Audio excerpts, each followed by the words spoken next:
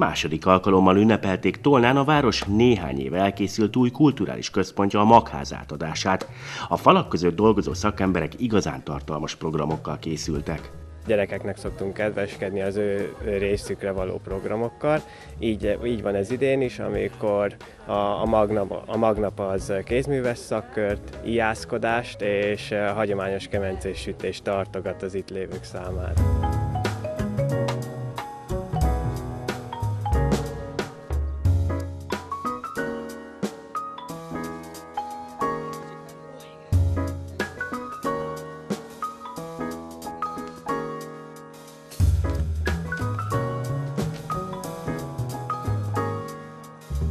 Nagyon élvezik, ahogy itt is látható.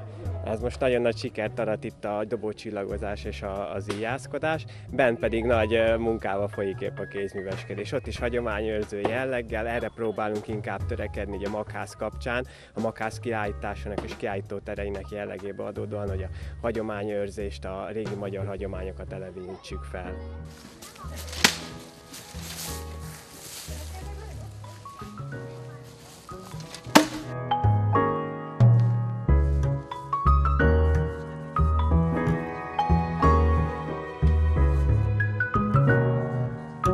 A játékos foglalkozások mellett a történelmi témájú programok természetesen arra is kiválóak voltak, hogy a gyerekek többet tudjanak meg a magyarok őseinek életmódjáról. Ezekről a magyarok még régebben a ellenség páncélját szúrták át, amikor rájöttek, hogy vannak gyenge pontjaik közelharcban, ezeket használtak.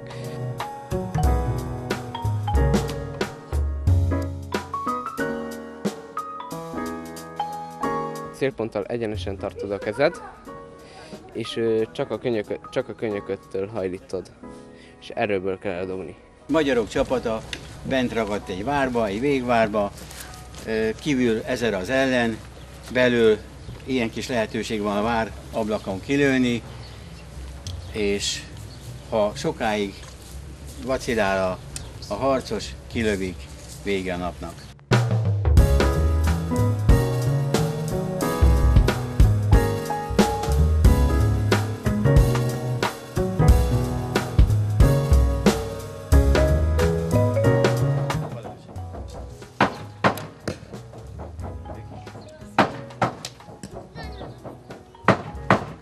Az ősi magyariak, amik, amik fából készültek, manapság teljesen jó rekonstrukciók készülnek.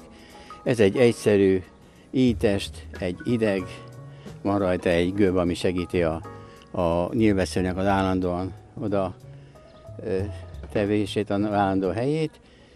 Ez a tradicionális magyari, ezt szeretném megmutatni, ez a lombó, ez a hosszú, cseréljünk? Ez a hosszú i, ez, a, ez az angolok által képviselt i. A magyarokra jellemző volt, hogy mivel lovas nemzet voltunk, a, az íjaknak rövidnek és nagy teljesítménynek kellett lenni, az angolok a hosszú íra esküdtek, hiszen levágták az erdőbe, a Sherwood erdőbe levágták, akasztottak rá egy, egy húrt, egy, egy ideget, és ment a dolog tovább. De nem tudtak hatékonyságban magyarokéval föl ö, érni. Ez egy reflexi, mutasd meg kérlek. Ez egy reflexi, ez egy már fém ötvezetből készült markolat, markolat karok szétszedhetős változat, ez egy vadászi már.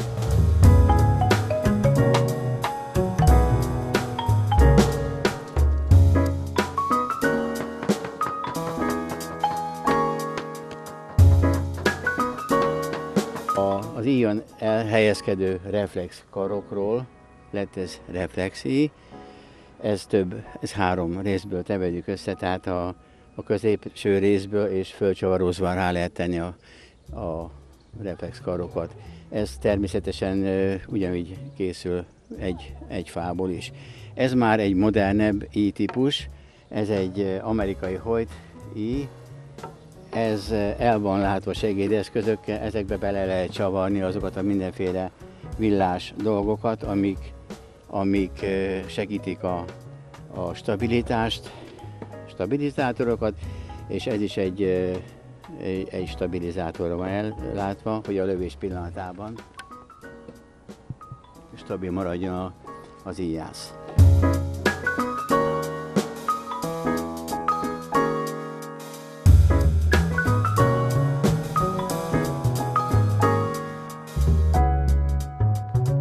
Aki íjat vesz a kezébe, az, az arra készüljön, hogy nem fogja letenni nagyon sokáig.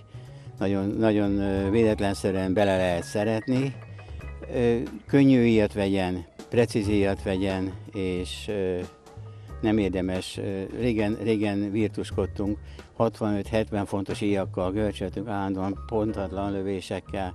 Nem, egy, egy középkategóriájú íjjal érdemes kezdeni, és mindig, ahogy az ember hozzáerősödik, a rettentő nagy rutin lehet szerteni, az, hogy napi több század lő az ember. És amíg kint tehát főként férfiasabb programok várták a fiatalokat, addig az épületben leginkább fiatal hölgyek szorgoskodtak. Népi hagyományőrzéssel kapcsolatban a népi motivumokat, a sárközi motivum, kalocsai motivum, ami az eredeti, a kék, a, a zöld, a piros színekkel és a fekete színekkel, és most jelenleg én kis szütyőket festenek a gyerekek, és faliképeket készítünk velük különböző motivumokkal. Ezek kimondottan textilfestékekkel készülnek, a fali képek is, és a, és a szütyők is. Ez egy tulipán, ez, egy, ez minden motivumban fel, megtalálható, ez egy tulipános motivum gyakorlatilag, és ezt a kék meg a piros hagyományos színekkel festették a gyerekek. Kivarta az acskót? Ezeket mondjuk készten vettem az acskókat, ezeket most éppen készten vettem, de viszont a fali képeket, azokat viszont én készítem, vagy, megrajzoljuk előre motivumokat ilyen vászon anyagon, és utána ráteszem egy ilyen falapra, és jutóanyagból készült fonatokkal, és, és gyöngyökkel díszítjük ki nem kell fogni a kezüket, ők megrajzoltuk előre a motivumokat, és akkor textilfestékkel ők kifestik. Érdekli még a gyerekeket a kézművesség? Szerintem igen, igen. Legalábbis, hogy már többször tartottam kézművest, szerintem mindig van elég résztvevő. A gyerekek szemmel láthatóan nagyon élvezték a kézműveskedést. Festek egy virágot, aminek kék a közepe és pirosak az közepe. Uh-huh.